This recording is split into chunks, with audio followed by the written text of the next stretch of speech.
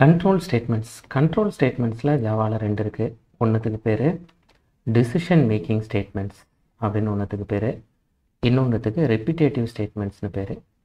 இந்த டிசிஷன் மேக்கிங்கில் தான் இஃப் எல்ஸ் இஃப் ஸ்விட்ச் கேஸ் இதெல்லாம் நம்ம பார்ப்போம். இந்த ரெப்பிட்டேட்டிவில் தான் வைல் டூ வைல் ஆர் இதெல்லாம் நம்ம பார்ப்போம். முதல்ல டிசிஷன் மேக்கிங் எப்படி வேலை செய்யுது அப்படின்னு பார்க்கலாமா? டிசிஷன் மேக்கிங்கிறது ஒன்றும் இல்லைங்க. இப்போ நான் ஃப்ளோ சார்ட் எழுதுகிறேன் பாருங்கள் எப்படின்னு பார்க்கலாம். இப்போ ரெண்டு நம்பர் வாங்குகிறோம் ரெண்டு பேர்னு வச்சுக்கோங்களேன். ரெண்டு பேரோட ஹைட் என்னன்னு கேட்குறோம் முதல் ஆளோட ஹைட்டை ஹெச் ஒன்னுன்னு வச்சுப்போம் அவர் சொல்கிறாரு என்னோடய ஹைட் நூற்றி அறுபத்தஞ்சு சென்டிமீட்டர்னு சொல்கிறார் ஜாவாங்கிறதுனால integer சேர்த்துக்குவோமா?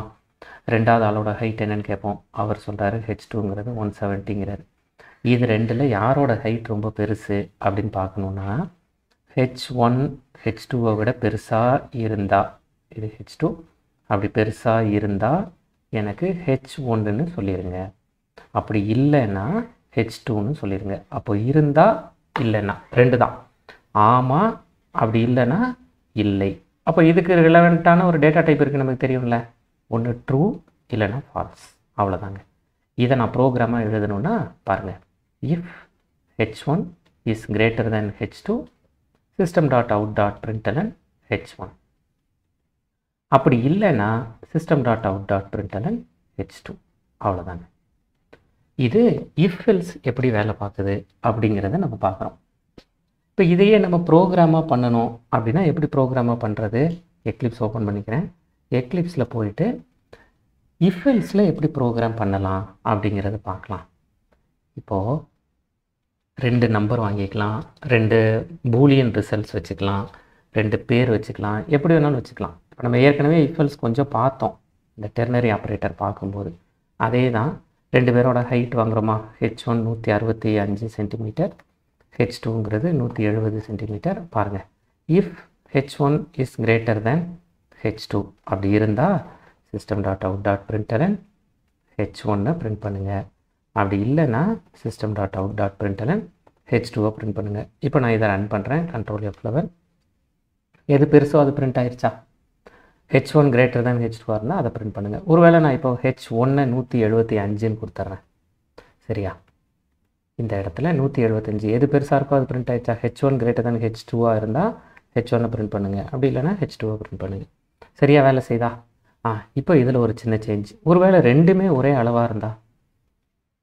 H one H two ரெண்டுமே ஒரே அளவாக இருந்தால் அப்போது நம்ம என்ன பண்ணணும்னா பாருங்கள் H one greater than H டூவாக இருந்தால் அப்படி இருந்தால் இது அப்படி இல்லைன்னா அப்படி இல்லைன்னா ஒருவேளை H two greater than H ஒன்னான்னு பார்க்குறோம். இஃப் எழுதி H two greater then H ஒன்னான்னு பார்த்து அது இருந்துச்சுன்னா ஹெச் டூன்னு சொல்லிடுவோம். இல்லை இப்போ ரெண்டுமே இல்லை பாருங்கள் H one is greater than H டூங்கிறதும் இல்லை. H two is greater than H ஒன்னுங்கிறதும் இல்லை. அப்படி இல்லைன்னா ஒரு L சேர்த்துக்கலாமா? System dot out dot println both are same அப்படின்னு டபுள் கோட்ஸில் பிரிண்ட் பண்ணிடலாமா? ரெண்டுமே சமமாக இருந்தால் சேம்னு பிரிண்ட் ஆகும். ஏதாவது ஒன்று எது மாறி இருந்துச்சுன்னா எது கூடுதல் மதிப்போ அது பிரிண்ட் ஆகும். அப்போ இஃபெல்ஸ் எப்படி வேலை செய்யுது அப்படிங்கிறது புரியுதா? இந்த இஃபெல்ஸில் கவனிக்க வேண்டிய ஒரே ஒரு விஷயம் இருக்குது இந்த இஃபெல்ஸில் இப்படி ப்ராக்கெட்ஸ் கொடுக்கலாம். இப்படி ப்ராக்கெட்ஸ் கொடுக்காம முதல்ல நம்ம டைப் பண்ணியிருந்தோம் ஜாவாவில் இப்படி ப்ராக்கெட்ஸ் கொடுக்காமலும் இப்படி டைப் பண்ணலாம். ஆனால் அப்படி டைப் பண்ணால் பாருங்கள் இஃப் இங்கே ஆரம்பிக்குதா? எப்போவுமே எல்லா சென்டென்ஸ்மெஸ்மே ஜவால ஒரு மெயின் மெத்தடாக இருக்கட்டும் ஒரு கிளாஸாக இருக்கட்டும் எதுவாக இருந்தாலும் ஒன்று செமிகோலனோட முடியணும். அப்படி இல்லைன்னா ஒரு ஓப்பனிங் பிரேஸ் அதோட க்ளோசிங் பிரேஸோட முடியணும். இப்போ இந்த இஃப் ஏதாவது செமிகோலனோட முடியுதா? ஆ. அப்போ இந்த இஃப் என்ன தேடும்னா ஒரு செமிகோலனை தேடும். நம்ம அதோட தானே முடியணும்னு. அப்போ இங்கே ஒரு செமிகோலன் கிடச்சிருச்சா இந்த இடத்துல? அப்போ இந்த இஃப் இது வரைக்கும் தான் செல்லுபடியாகும். அதுக்கு கீழே வராது. அப்போ நான் அதுக்கு கீழே ஒருவேளை இந்த இடத்துல system dot out dot println hello அப்படின்னு நான் டைப் பண்ணுறேன்னா பாருங்கள் எரர் காமிக்குதா? இந்த இஃப்புக்கும் ஏன்னா இந்த இஃப் இதோட முடிஞ்சு போச்சு. லைன் நம்பர் பத்தோட இந்த இஃப் முடிஞ்சிருச்சு. லைன் நம்பர் பதினொன்றுக்கும் இந்த இஃப்புக்கும் சம்மந்தமே கிடையாது. அப்போது இஃப் முடிஞ்சிருச்சுல? இஃப் முடிஞ்சதுக்கப்புறம் வேறு எதே ஒன்று சொல்ல போயிட்டோம்ல? அதுக்கப்புறமா இப்படி எல்ஸ் எழுதுனா எனக்கான இஃப் இல்லையே. இஃப் வேற எங்கேயோ முடிஞ்சு போயிட்டாரே. அப்படின்னு ஜாவா எரர் காமிச்சு உங்களுக்கு இஃப்பை கேட்டுட்ருக்கோம் அப்போது ஒருவேளை இந்த இஃப் உண்மையாக இருந்தால் இந்த ரெண்டு வேலையுமே நடக்கணும் அப்படின்னு நீங்கள் இந்த ரெண்டு வேலைக்கும் நினச்சிங்கன்னா இங்கே ஒரு ஓப்பனிங் ப்ரைஸ் கொடுத்து இங்கே ஒரு க்ளோசிங் பிரேஸ் கொடுத்துட்டிங்கன்னா இப்போ இஃப் எங்கே முடியுது? இந்த இடத்துல. இஃப் இங்கே ஆரம்பிக்குது இங்கே முடியுது. இஃப் முடிகிறத ஒட்டி எல்ஸ் வந்துடணுமா அப்போ இஃப் முடிகிறத ஒட்டி எல்ஸ் வந்துருச்சா?